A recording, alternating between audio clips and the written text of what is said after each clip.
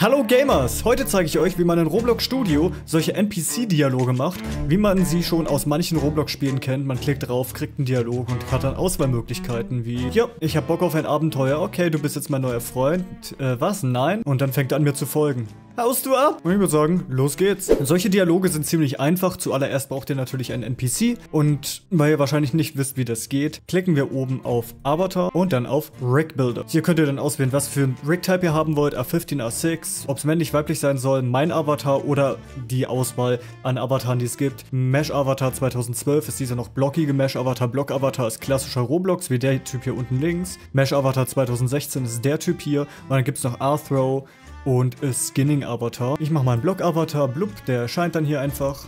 Wunderhübsch. Ich ziehe den mir hier mal runter und den könnt ihr dann customizen, wie ihr wollt. Zum Beispiel könnt ihr die Toolbox öffnen und nach Shirts suchen und dann halt Shirts dort rauswählen. Das Problem ist, das sind meistens irgendwelche Giver. Nehmen wir einfach mal den Typen hier. Jetzt haben wir schon einen Dummy importiert. Ihr solltet aber vorsichtig sein, wenn ihr irgendwelche Sachen aus dem Katalog importiert, weil da könnten Viren drin sein. Hier ist zum Beispiel ein Script, welches ähm, einem die Möglichkeit gibt, dieses Shirt offenbar zu kaufen, wenn man den Typen anklickt. Das scheint ja ganz in Ordnung zu sein, aber ich interessiere mich nur für die Pants und das Shirt, also mache ich hier Steuerung C, lösche den Avatar wieder mit Entfernen, gehe auf den hier und mache Steuerung, Umschalt V und dann ist er angezogen.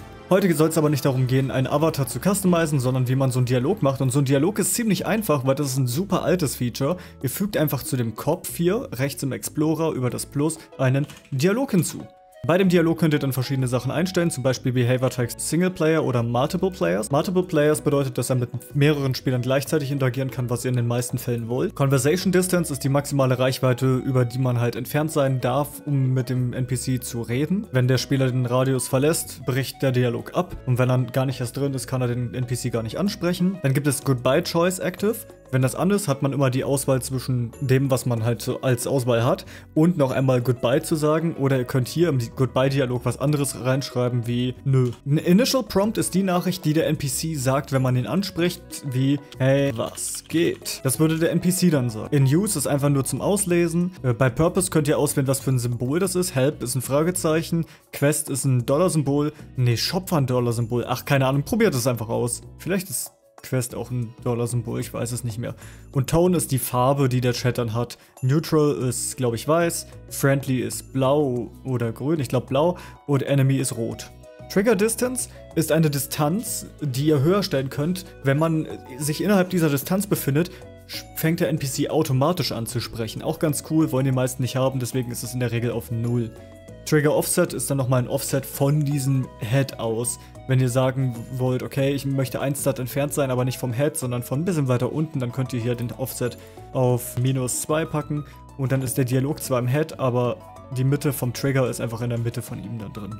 Ist aber auch nicht so wichtig. Gehen wir einfach mal ins Spiel rein und gucken, was wir getan haben. Wir haben einfach nur den Dialog reingepackt. Okay, Quest ist ein Ausrufezeichen, Shop ist Dollar. Wir klicken hier einfach rauf, blub, und haben jetzt, hey, was geht? und kriegen die Auswahlmöglichkeit gar nichts. Warum? Weil wir nichts reingeschrieben haben. Er sagt einfach nur, hey, was geht? Wie fügen wir hier jetzt noch Sachen hinzu, die man antworten kann, indem man auf dem Dialog über das Plus eine Dialog Choice hinzufügt?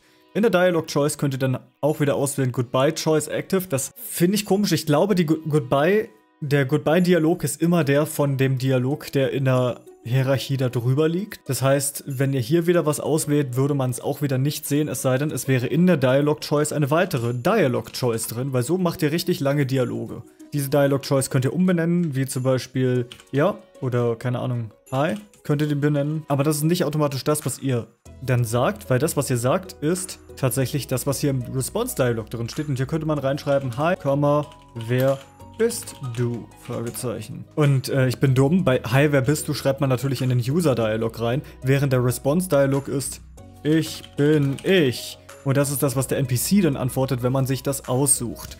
Gucken wir uns jetzt noch einmal an, was wir jetzt getan haben. Weil da schlage ich euch vor, dass ihr das immer macht. Ihr geht dann zum NPC hin, klickt hier rauf.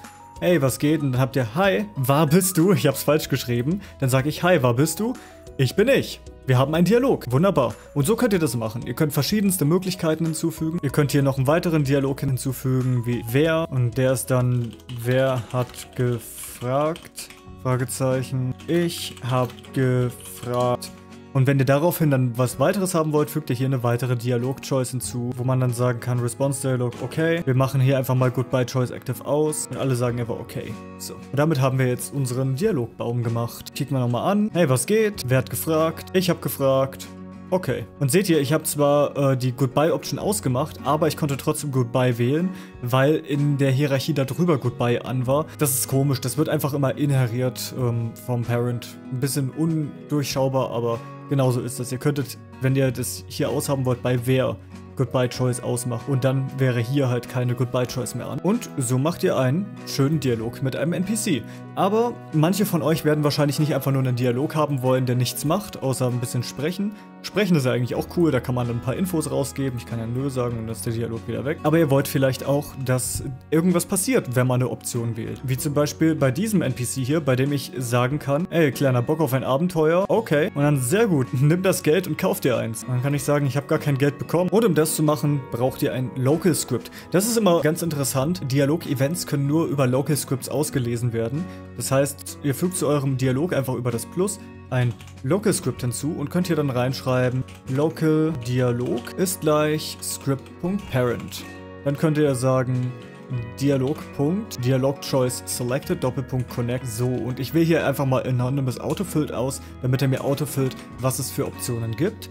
Und ihr seht, es gibt einmal den Spieler und die Dialog Choice. Das ist dann die Dialog Choice, die ihr hier gewählt habt. Das heißt, ihr könnt jetzt zum Beispiel sagen, if Dialog Choice ist gleich Dialog.high, then Player.character Doppelpunkt Destroy. Ihr seht, ich habe keine richtige Autovervollständigung, weil Dialoge so, so ein uraltes Feature sind, dass sie nicht mehr richtig gepflegt werden. Hier müsste man natürlich Player reinschreiben, dann hätte das besser funktioniert. Bei Dialog Choice hätte man Dialog Choice eingeben müssen, aber darum hat sich noch niemand bei Roblox gekümmert. Einfach nur, weil es nicht so wichtig für die ist. Wobei Player.character Doppelpunkt Destroy ist vielleicht blöd. Sagen wir mal Player.character.humanoid.walkspeed ist gleich 100. Das sollten wir dann vielleicht auch eher merken, wenn wir das auswählen. Also gehen wir hier zu dem NPC, klicken ihn an, sagen dann Hi, wer bist du? Und mein Walkspeed hat sich nicht erhöht. Ich habe wohl was falsch gemacht. Und natürlich habe ich was falsch gemacht. Daran hätte ich eigentlich auch denken können.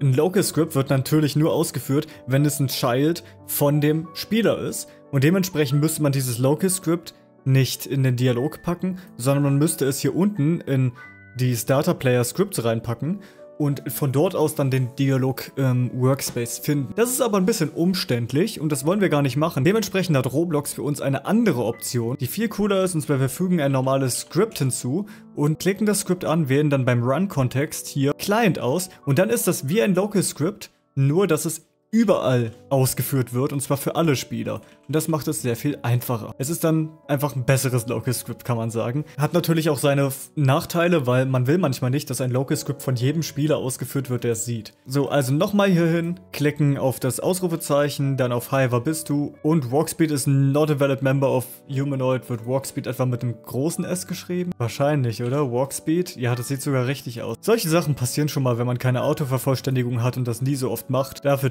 testet man natürlich immer, nachdem man irgendwas gemacht hat. Und, up, ihr seht, ich habe jetzt einen viel höheren Walkspeed, weil ich war, bis du ausgewählt habe. Aber es gibt natürlich viele Sachen, die man nicht kleinzeitig machen möchte oder nicht kleinzeitig machen kann, weil sie natürlich vom Server validiert werden müssen, wie zum Beispiel Geld geben, was der andere NPC eben ja auch nicht gemacht hat. Und dafür muss, braucht man dann nochmal ein etwas anderes Setup. Für dieses etwas andere Setup fügen wir zu dem Dialog nochmal ein Remote Event hinzu. Und dann wählen wir das Remote Event aus, indem wir sagen local remote ist gleich script.parent.remote event. Und wir sagen hier einfach mal else dialog choice ist gleich Dialog.wer.ok,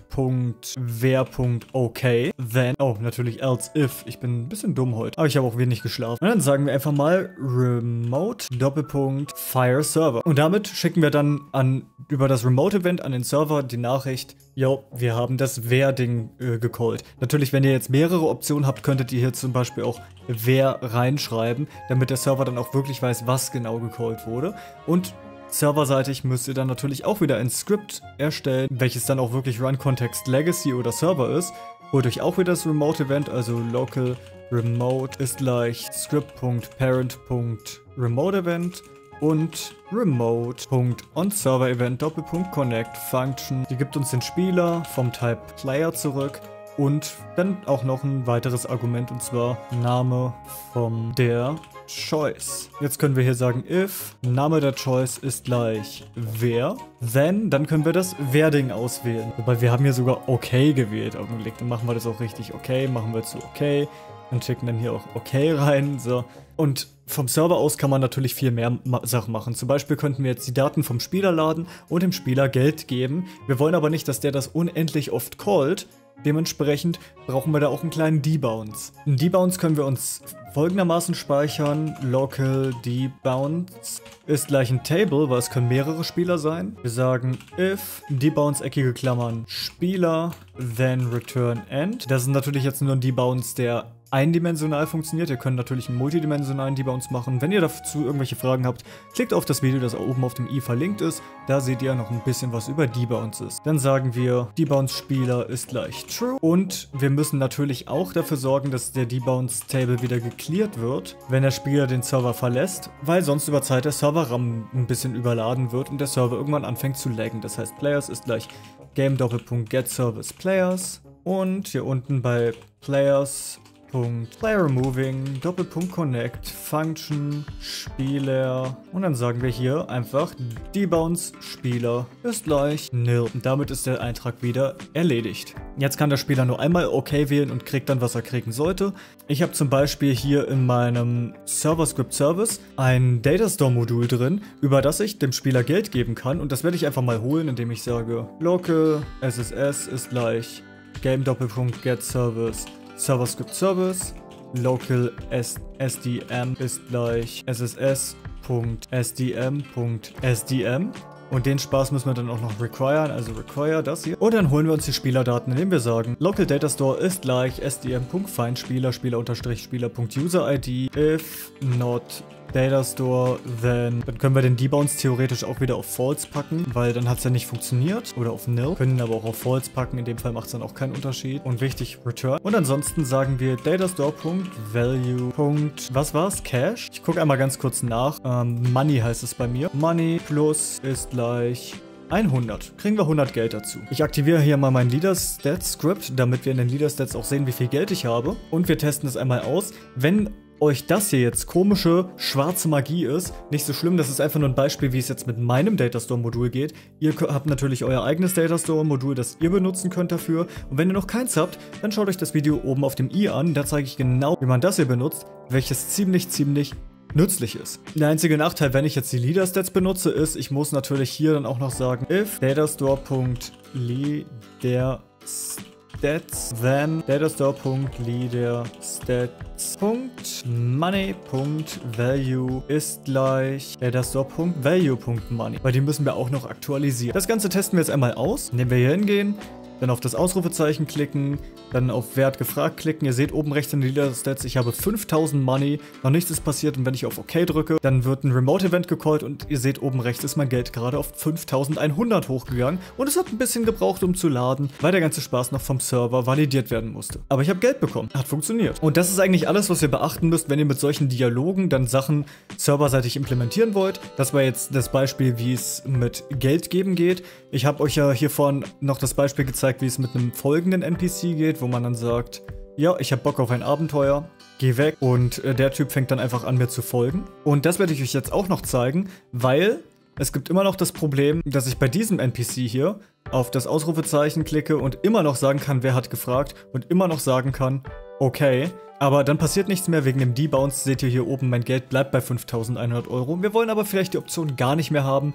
Und die einfachste Möglichkeit, um diese Option dann äh, kleinseitig auch zu entfernen, ist zu sagen, task.wait etwa 5 Sekunden, weil die Dialoge brauchen immer ein bisschen, um abgespielt zu werden. Und dann sagen wir dialog.wer.ok, Doppelpunkt, destroy und dann ist es einfach wieder weg. Weil deaktivieren geht aus irgendeinem Grund nicht. Und das gucken wir uns hier auch einfach mal an. Ich zeige euch, was ich hier gemacht habe. In diesem NPC habe ich im Head einen äh, Dialog, einen Dialogbaum, um genau zu sein, Begleiter maybe okay, bei okay ist noch eine Dialog-Choice drin, hier ist auch noch eine Dialog-Choice drin, dann haben wir ein Remote-Event und ein Local-Script. Beziehungsweise ein Server-Script, welches auf Run Context Client gestellt wurde. Und das hier ist genau dasselbe Script, das ich euch schon gezeigt habe. Wir haben das Remote-Event, wir haben die verschiedenen Choices und wir gucken einfach, ob die Choices das gleiche sind. Dann gibt es die Begleiter-Choice, da wird dann einfach das Remote-Event gefeiert und im Server-Script-Service haben wir ein NPC-Script. Dieses NPC-Script nutzt dieses NPC-Modul, welches ich in einem anderen Tutorial erstellt habe. Wenn ihr wissen wollt, wie das NPC-Modul funktioniert, klickt oben rechts auf das i. Da zeige ich euch, wie man das NPC-Modul macht. So sieht's aus. Und das wird utilized hier in diesem Script, indem wir uns den Player-Service holen, den Workspace holen, das NPC-Modul holen und require, dann den NPC im Workspace finden, das Remote-Event im NPC finden, auch wieder einen Debounces-Table haben und dann nutzen wir einfach mal das NPC-Modul, um einen neuen NPC zu erstellen daraus. Aber das mache ich nur, damit der NPC sich so ein bisschen bewegt, während er rumsteht. Dann haben wir hier wieder die Funktion ähm, Remote-Event, wo wir die Debounces checken. Wir holen uns den Charakter vom Spieler und wir klonen den NPC. Wir destroyen den Dialog im Head vom NPC, damit man mit dem NPC dann nicht mehr reden kann. Das ist irgendwie komisch sonst. Und da wäre dann nochmal das Local Script erneut drin, was auch komisch wäre. Aber man könnte theoretisch da auch ne neue Dialoge reinmachen, wenn er ein Begleiter ist. Dann hätte man so ein cooles Begleitersystem, finde ich. Setzt Parent vom NPC auf den Workspace und dann erstellt man ein neues NPC-Objekt mit der NPC.new-Funktion von dem Modul und sagt dann NPC-Objekt Doppelpunkt folgen und er soll dem Primary Part vom Character des Spielers folgen und bei der Line of Sight den Charakter an sich ignorieren. Und das ist alles. So einfach macht man einen Begleiter und so einfach macht man einen NPC, der einem Geld gibt und das funktioniert beides auch nur einmal, weil der Dialog destroyed wird und weil serverseitig, um sicher zu gehen, nochmal einen Debounce gibt. Das ist ein wichtiger Tipp an euch. Immer alles serverseitig auch validieren, weil es kann immer sein, dass Hacker die Remote Events einfach selbstständig callen und dann können die sich irgendwelche Sachen geben, die sie vielleicht nicht haben sollen. Wenn ihr sonst noch irgendwelche Fragen dazu habt, schreibt sie mir gerne in die Kommentare. Das war's auf jeden Fall mit dem Video. Ich hoffe, es hat euch gefallen. Hier ist noch ein Video eingeblendet. Das war's aber jetzt erstmal. Bis dann und ciao!